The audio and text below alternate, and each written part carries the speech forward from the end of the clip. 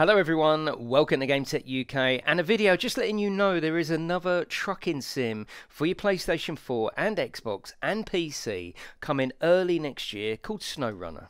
Now, of course, you may already know this news given that the release trailer was in Gamescom 2019, but if you don't know about it, how exciting! It looks fantastic. It's the sequel to MudRunner. It's got a whole new lighting engine, a whole new snow setting, and it looks absolutely fantastic.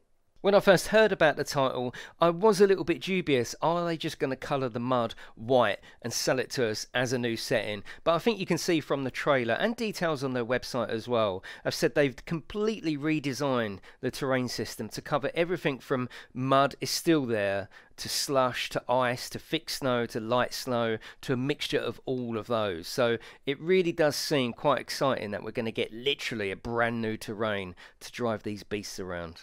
I think it's fantastic that we're getting more of these sim style titles on the PlayStation and the Xbox, and of course the PC, but you know my focus is mostly on the console. Talking of the PC release, they have actually upset quite a few people because it turns out that this is going to be an Epic Store exclusive. So a lot of people just don't want to buy from the Epic Store for many, many reasons, and they feel that they've been let down by the developer a little bit and the publisher by putting it on the Epic Store. But if that's what it is, that's what it is. If you want this game on PC, that's going to be the only place to buy it. Also, they have said that modding support is included from day one, but again, people are concerned about how that's going to work with the Epic Store.